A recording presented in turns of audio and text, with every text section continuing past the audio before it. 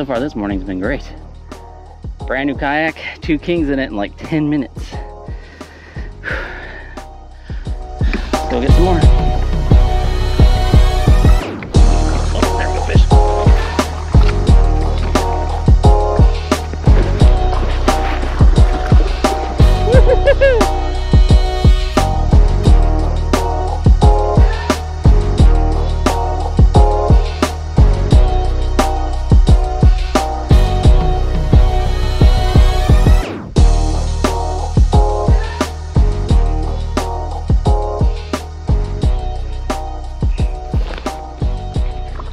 Go.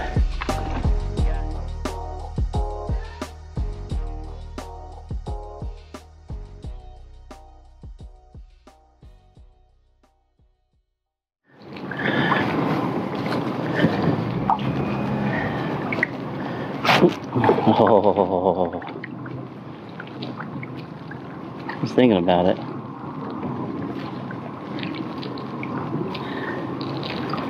Thought about it.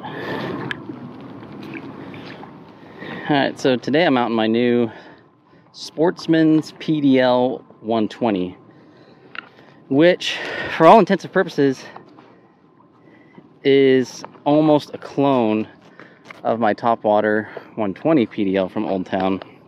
But there are some major differences which make this an amazing kayak.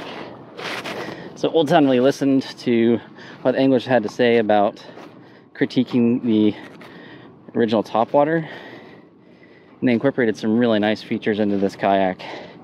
And the first one is this chair I'm sitting on. It is so much better. I mean, like night and day better than the original top and water chair. This thing's like ridiculously comfortable. I have no discomfort.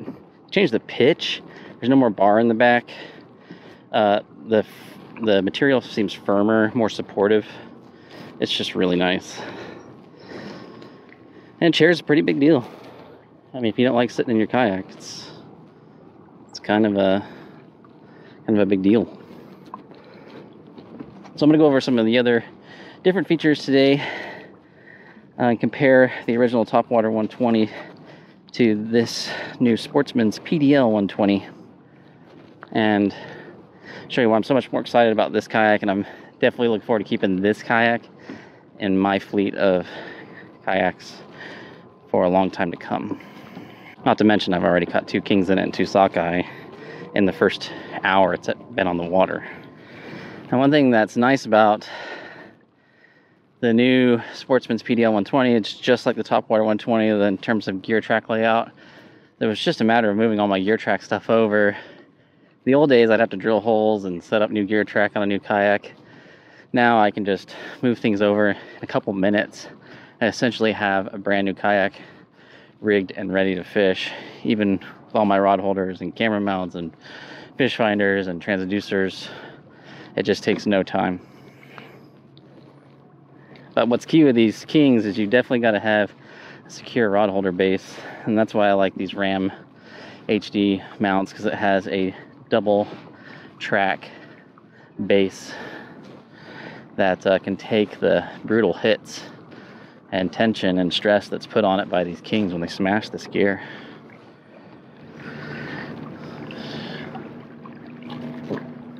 Oh, there's fish. Yes.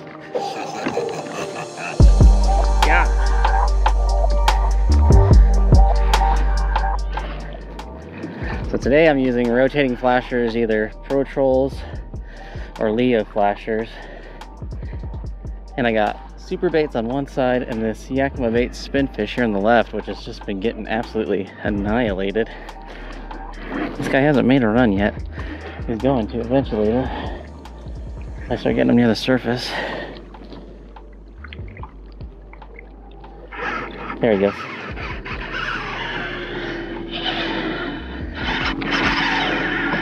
breathe.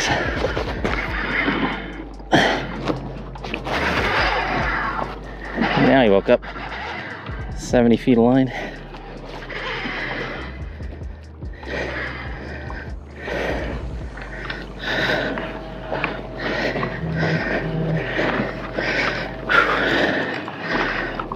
Ninety, starting to gain some ground here.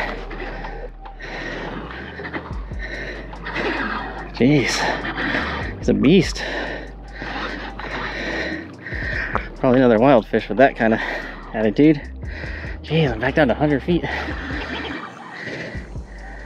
Normally I don't like letting let him get that far out here.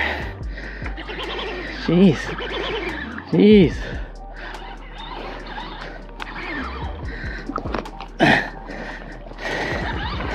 I'm going at him and I'm not gaining line.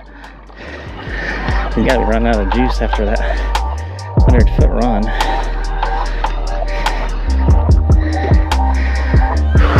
I'm running out of juice. He's gotta be.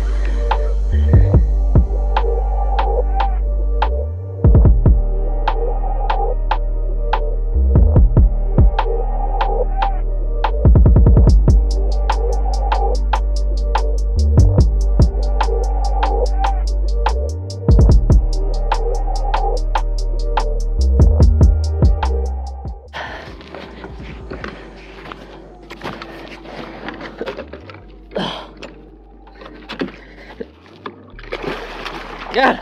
Woo!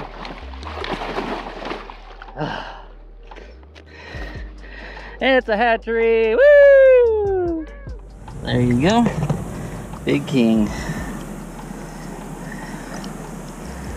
On that Yakima bait spinfish. There we go. Nice. Look at that. Take that any day. Okay let me explain a little bit about the rigs I'm using today.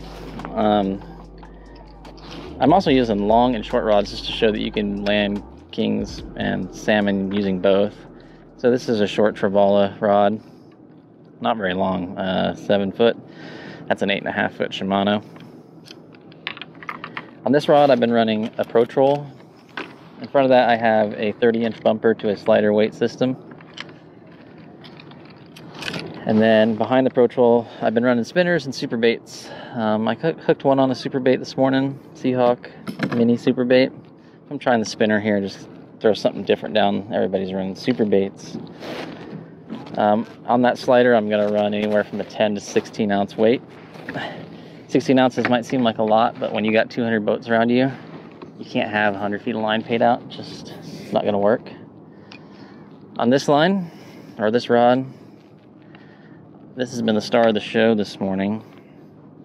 Same slider weight system, 40 pound bumper to a dual lock. I use dual locks everywhere because you want to be able to clip in and out to fix situations like that where you get stuff caught up or if you get caught up with somebody else's line on another boat they can just pull your gear in the boat unclip it and then come back over and give it to you if you get hung up they don't have to cut anything so this is a leo flasher but if you offset it right here, it creates a big 360 twirl.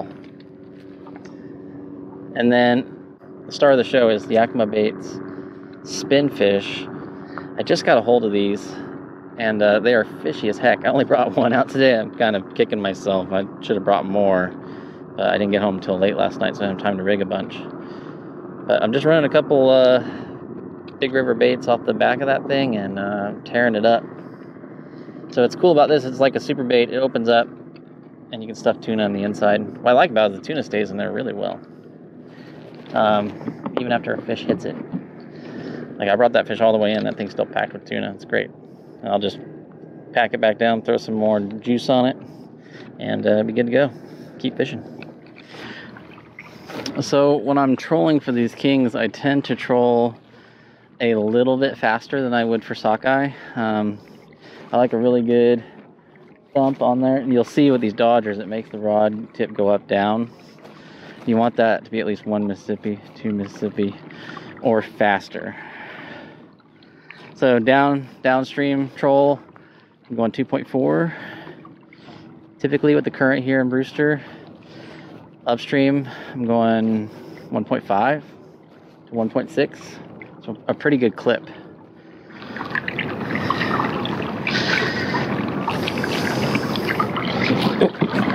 There we go. Oh, little love tug there.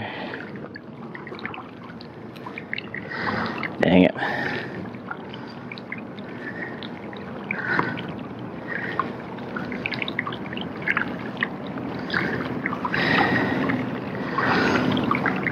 Just trying to keep me out here longer.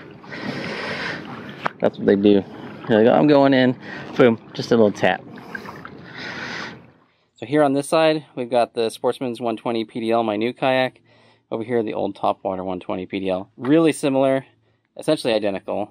Same mold um, on the front. Uh, same drain, plugs, handles, hatch configuration, maybe different color bungee.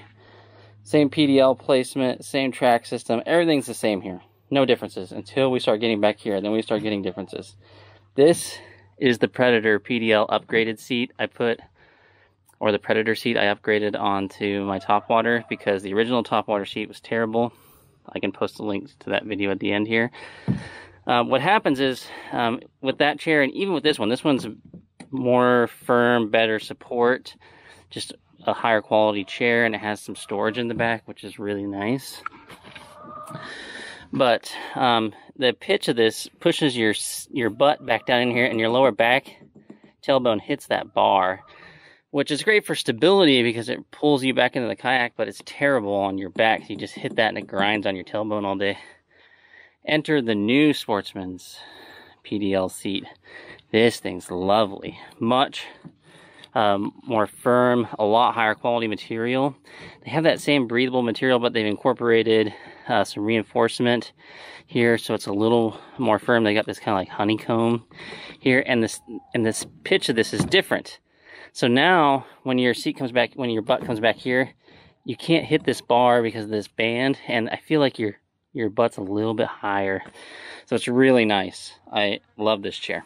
It's a night and day difference. In fact, uh, even my wife, who has back issues, says this is probably one of the most comfortable chairs she's sat in. Unfortunately, it doesn't have any rear storage, but you can do aftermarket. Continue on back, both sides they have the same rudder, uh, up-down configuration and control knobs on both sides. The well is only marginally different. What they did is they blew out the well here so there's more storage. So this is actually really nice for me because I have to put king salmon back here and big lean lingcod. And I have a big catch bag and I don't know why they put this space here. They've eliminated that now. So I can put some really nice uh, size catch bags back here. And uh, I just feel like I have a ton of space. It's great. And it's just a 12 foot kayak. All right, and then coming back, I can show you here, I added um, an aftermarket uh, gear track there, which I'll probably do here the same for light poles and things like that.